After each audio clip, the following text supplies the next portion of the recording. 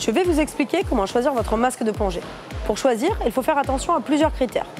Le confort du masque, caractérisé par la souplesse de la jupe, et le bien aller sur le visage. À ce propos, certains masques existent dans différentes tailles pour s'adapter à toutes les formes de visage.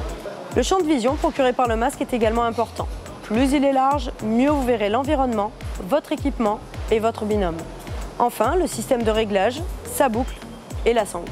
Certains plongeurs recherchent également un volume interne du masque le plus faible possible pour faciliter la décompression. A noter qu'il existe deux types de masques, le mono-hublot et le bi-hublot.